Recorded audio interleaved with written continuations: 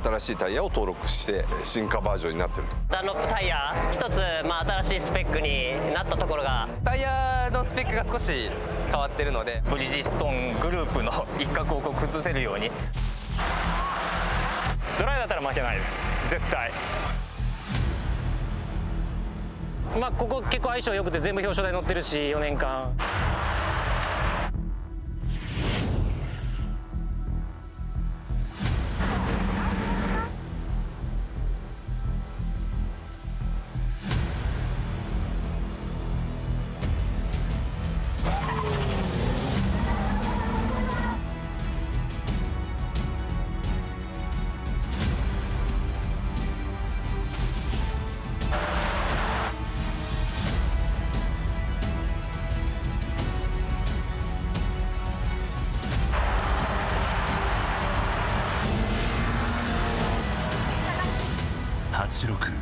ラ Z レース2017プロフェッショナルシリーズラウンド4岡山国際サーキット。今回スーパー GT の公式テストと日程が重なってしまったため7月2日のワンデー開催となった岡山国際サーキットラウンド。この大会から前年度シリーズ3位だった坂口良平が大阪トヨタの車両で参戦することとなった。あのーまあ、今年の初めぐらいにちょっと大阪トヨタさんからお話いただいて、まあ、4年間お世話になった岡山トヨタさんから変わったっていうことだったんですけど、あのまあ、新車っていうレギュレーションとかっていうことだったんで、あの前の方の車だとあったんですけど、まあ、それもあったんでちょっと、あのまあ、3戦目にギリギリ間に合うか間に合わないかぐらいだったんですけどもうそれよりかはまあ第4戦がまあ地元岡山っていうことなんでしっかりここでテストして。でまあ、あの3台体制プラ、まあ、1台プロクラス2台っていうことなんで、まあ、しっかりそこであの走れるようにしようっていうことであの第4戦になったんですけど、まあ、あの準備はばっちりしてきたつもりなんで、まあ、チームとしても自信はあると思うんですけど、はい、なんで今更出てくんのって思ってます。大好きなんですけど人間としては大好きなんですけどあのー出てくるドライバーとしては大嫌いです。面倒くさいですね いやまあ先輩なんであれですけど、まあ、確実に速い、あのドライバーの、ね、方が増えるので、まあ、そうなったらやっぱ自分たちが戦ってる場所に、まあ、多分近くには絶対いるかなとは思ってます。いやいやいやもう思い出したくないですよねもうこのヘアピンですさ良平が俺のインにサイドを引いた状態で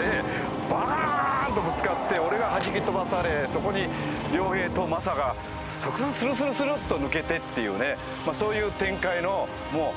うあまり思い出したくないこの野郎って感じのまあまあ実際ねあの良平自体はここねホームコースみたいなところなんでまあまあやっぱりいつもの速いメンバーがやっぱりあのまあ揃った方がえレースも盛り上がりますしやっぱりやりがいもあるし、まあ、それに関してはね、まあ、正直言って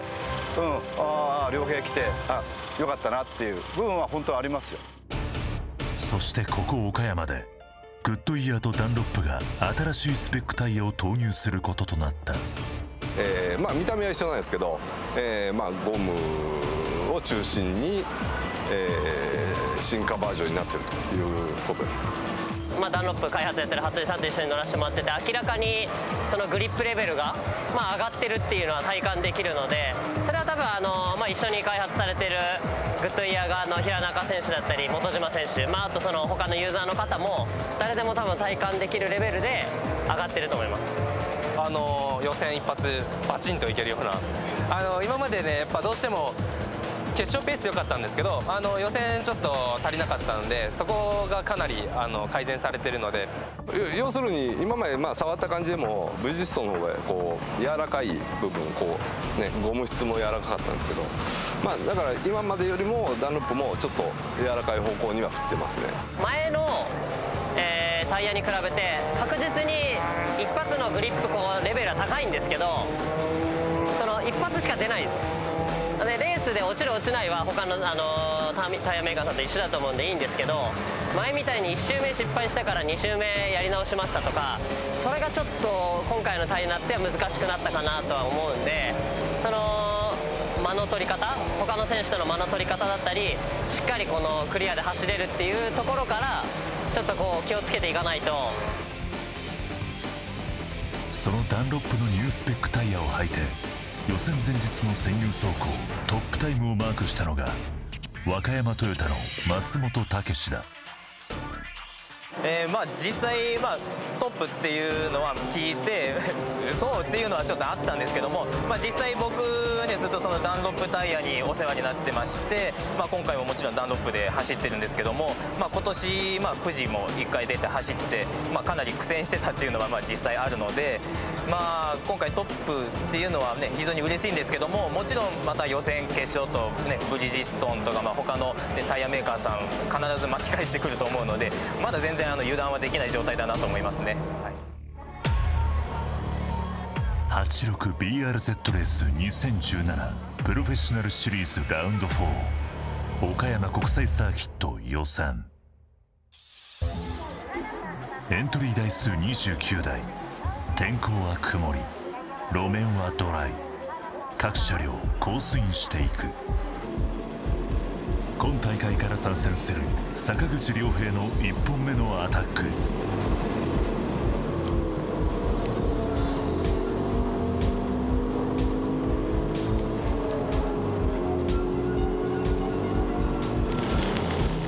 タイムは1分51秒576まああのちょっと2箇所ぐらいちょっとスロットル1回踏み直ししたところ2箇所あったんでそれがちょっと自分のちょっとやっちゃったところなんでただもう2周なかったんでもう決勝頑張るだけ。続いてガモ直哉のアタックをレースディレクター影山雅彦に振り返ってもらう。えー、蒲生選手の予選をそれでは、えー見てみましょうシフトポイントも多分全開に温まってるポイントじゃないと思いますけどそこからこうアタックですか？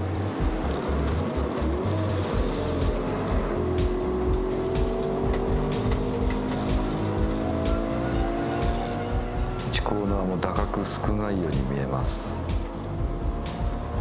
コーナーもとにかく打角打角が少ないですね。そしてコース幅目いっぱい使いながら本当になんかあの縦にタイヤを使ってる感じが見受けられます。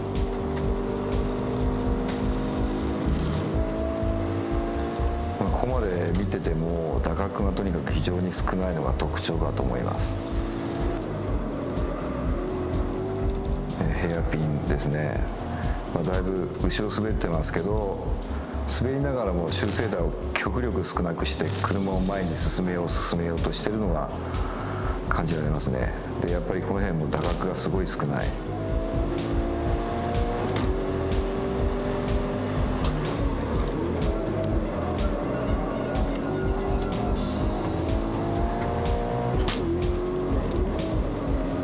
ここも引っ張り切らずに1回3に上げてますね。3に上げて2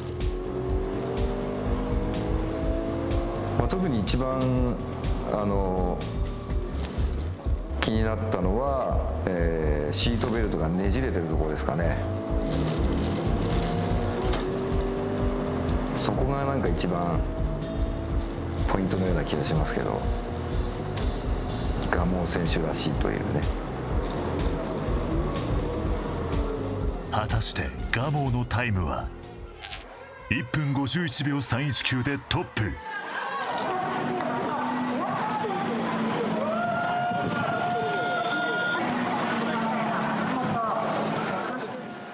他の選手のタイムを確認するガモ。ーダンロップニュースペックタイヤでアタックする吉田裕樹。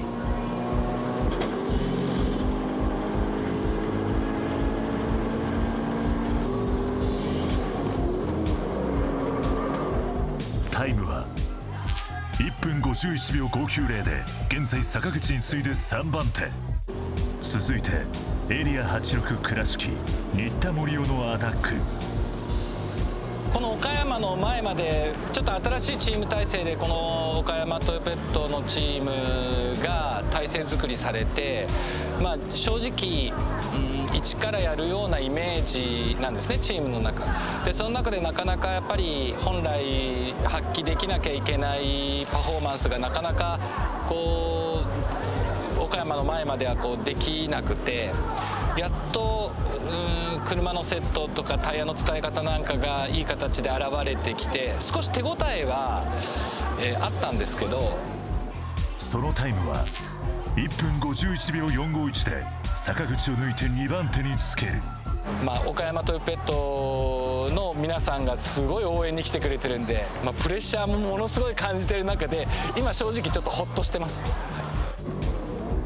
前年度シリーズチャンピオンの佐々木正宏のアタック。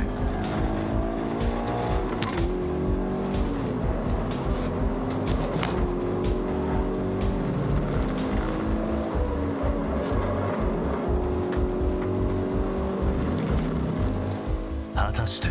タイムは？1分51秒387でガモーにわずかに及ばず2番手。ょうがない。あの出し切ったけどガモンが早かった本当に。まあ練習からあんぐらい上がるとねこれはいつもの調子なんですけどガモンが早かった。まあでも決勝終わったわけじゃないからまあ決勝で頑張ります。岡ールばっかやん。GT も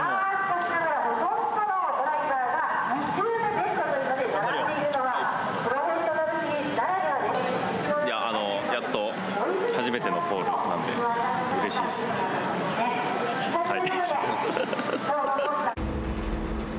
い。このガモーの後ろをつけて予選アタックしていたダンロップの服部直樹。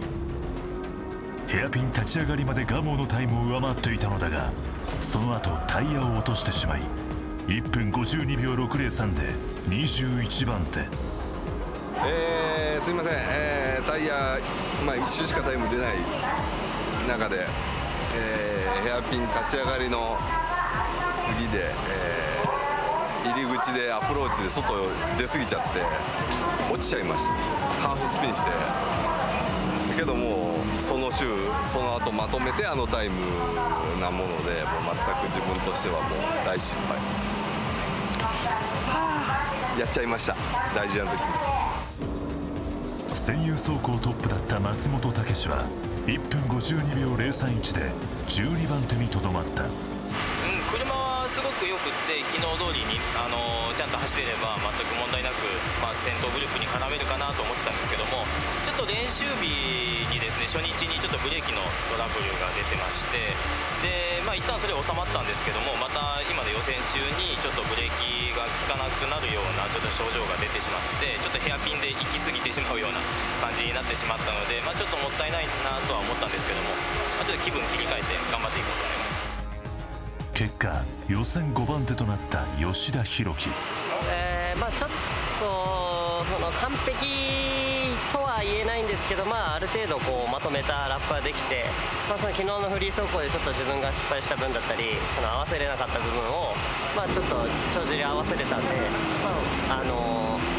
そこそこ満足のいくアタックができたかなと思います。5番手っていうポジションも今までの中ではもちろん一番いいですしただあの大きかったのはタイム差があの BS 勢が上にいたとはいえ、まあ、トップからコンマ3弱ぐらいで入れたっていうのは今までの、あの予選から考えると、まあ、確実にダンロップさんが、あのいいタイヤを作ってきてくれたからだと思うので、まあ、あとはそのレース、まあ、予選に比べるとやっぱ周回数も走る分どんだけこう耐えられるかっていうところが、まあ、頑張りどころかなと思います。いやもうやめて。岡山のポール難しいんですよあのよくグリッド間違う人が多くて。そう去年もありましたもんね、スーパーフォーミュラでやったからね、うんありましたし昔やってる。私もあの一回やらかした人間なので今日ポポールポジション取ったガモ選手にはそれだけ注意してほしいなと思ってます。行き過ぎちゃうんですよねそうそうそうそう。で行き過ぎてパニックになってるんですよね、でバック入れてね。うん。でペナルティー。そういうことです。クラブマンシリーズ決勝神谷博之が初ポールポジション。2番手石井正文3番手蒲生真也となった。ブラックアウトスタート！石井さんいいスタートですね。石井正文ジムカーナー仕込みのさあ蒲生真也がサンドイッチにされて抜けます。スリップから抜けてヘアピン。オープニングラップでセーフティーカーが入るという状況になりました間もなくリスタートとなります。ついてます。手塚もついていく。橋本小野田松田花里の後ろから山下がぐぐっと近づいていく。そして神谷表彰台はありましたがこの4戦目にして初の優勝獲得。次こそは頑張るわ。北海道。おめでとう。初優勝あの皆さんおかげで傘勝ちありがとうございました。クラブマンシリーズ決勝は神谷博之が涙の初優勝を果たした 86BRZ レース2017プロフェッショナルシリーズ。ラウンド4岡山国際サーキット決勝。自身初めてのポールポジションを獲得した蒲生直哉あまあなんか結果は最近すごいいいんですけどあのであの86で優勝したのも岡山ですし、まあ、岡山に住んでてあの小さい時からレースが好きだったんで結構本当小学生の時ぐらいから、まあ、レースを見に来てましたね結構。なんでその初めて走る時はワクワクしましたしで父親もレースをやっててで昔は父親が走ってるのを僕が外から見てる感じだったんですけど、まあ、今はもう全く逆の感じになっているんで僕が走ってるのを父親が外から見てるんで、まあ、なんか時代は変わったなみたいな感じ。突然降り出した雨が決勝レース直前に止みウェットだった路面が次第にドライになっていく。ブラックアウトスタート。さあフロントローはさすがにいいスタートだ。佐々木正いいスタートを切っていった。佐々木正宏1コーナーイン側に向かっていく。ホールショット佐々木。1コーナー佐々木が取っていった。ガモを食い去るイン側から立ち上がってくる。佐々木が2コーナーに向けてはインサイドを取っていて完全に前に出ていきました。これスタート前に雨がバーッと降って、みんな多分内圧とか随分それぞれ違うと思うんですよね、僕はレイン寄りの内圧行ったんで、ちょっと厳しくなりました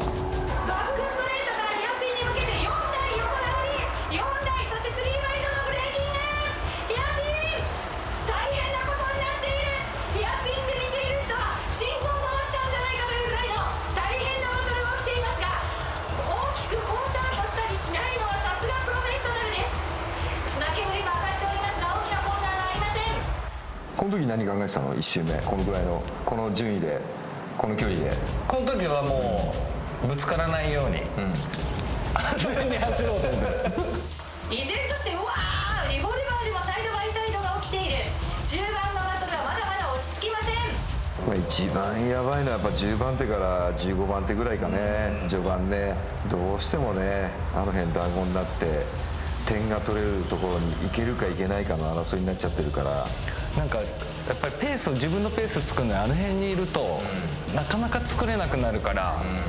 3周ぐらい落ち着くまでにかかりますよね、なんかやっぱり。おお誰？あ亮だ、めっちゃ飛び込むね。あれ両平抜いたんですよね。そう。アグレッシブだったね。今回の小川亮は。この後来るんですよ後ろからと言いながらねねあの俺全部見てないのよ。投資で。ダメじゃないですか見てなかったら。あのレースディレクターって今年 あのタワーにあの入ってるんであの審議があるとそこで違う画面でリピートを見て競技長とジャッジしたりとか。そうそうそう。だからそれが済むともう一回レース戻れるんだけど。なるほど。今回初めての投資で見るのは。じゃあお兄にお金とか賄賂を渡しとくとなんかいいジャッジがもらえるんですか？もちろんね。じゃあよろしくお願いいたします。でゴルフの時もハンディいっぱいくれるとなお。それはダメです。あそれはダメなんだ。は。いあそれは。ダメです。そういうのやってない？はいそういうのやってませんちゃこの2人のペース本当いいですよ。でもう僕終わってますけどね。あかなりもうはいもう3ラップ目ぐらいでちょっと怪しいなと思ってたのがほぼ現実に変わってきて。ちょっと折れ気味？もう折れ気味です。でも青木がもうバンバンこう狙ってきてるんで、これやばいなと思って。で僕もあんまりこんな前走ったことないから どんな展開になるのか想像がつかなかった。なるほどね。まあだけど本当に森はこのレース出るって聞いた時はまああのはっきり言って第一声が「バカだね」って言っちゃったもんね俺ね。来ましたね、まあ、僕も後悔してましたけど。あの時点ではあの蒲生岡山出身でしょ？蒲生岡山出身でしょ、でうちのチーム岡山トヨペットって言って、岡山のチームなんですよ。そうだよね。ものすごいあの応援団がいてめっちゃプレッシャーになってたんですよこれ。なってたの？はい。だけどよかったです。よよかったよね。本当見直しましたよ。いえいえそんなそんなこと言っていただいて。予選終わった時には本当あさすがだなって意地見したなみたいな。だってさやっぱり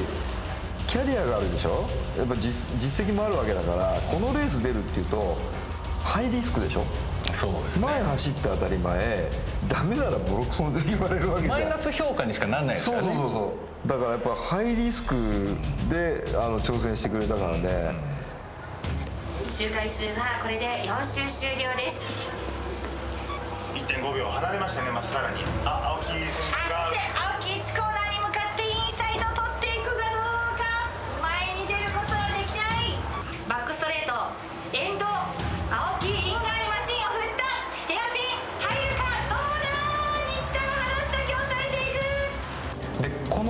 から後ろに多分もう量が来始めてると思うんですよ。あどんどんね、はい。うん、あのやり合ってるからね。やってるから、うん、もうこの後あっという間につついちゃったもんね後ろに。で僕は大人ですからこの2台をブロックして最後にやっつけられる時にこの量の後ろにまた来られるのが嫌だったからもうあるところであっさり生かして俺はもう5位をゲットしようってもう決めてましたからもう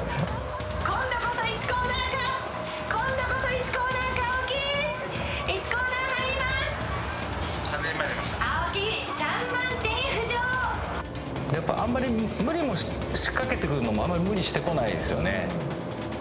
まあでも青木選手はあの全般的にそうだよね、うん。あのいいタイミングを本当測って。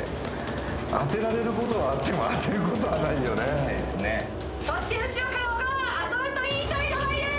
思い切った飛び込みを見せました。小川亮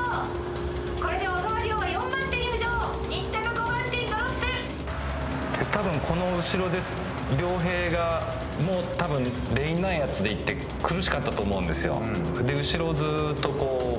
う抑えてた感じだと思うんですけど気づいたらいつの間にかあれですよね。あのー勝が来てます。ああ勝は？平永勝予選は？9番手。9番手からここ上がってくるってすごいですよね。多いね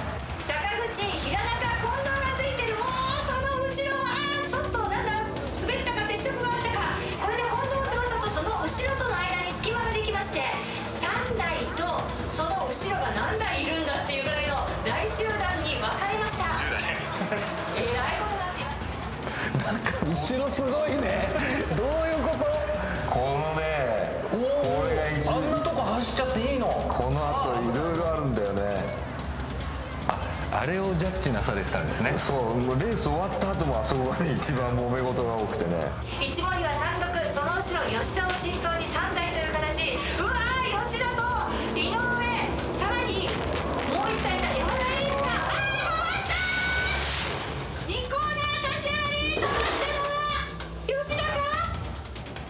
なんか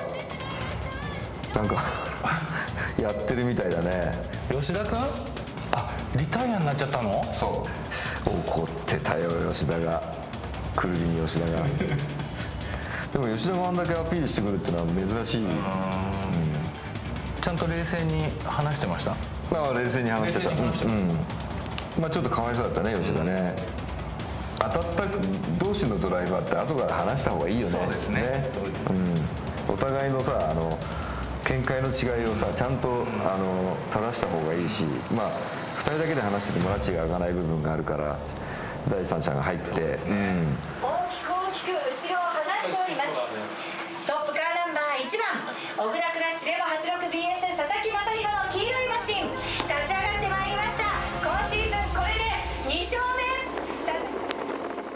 86BRZ レース2017ラウンド4岡山国際サーキットを制したのは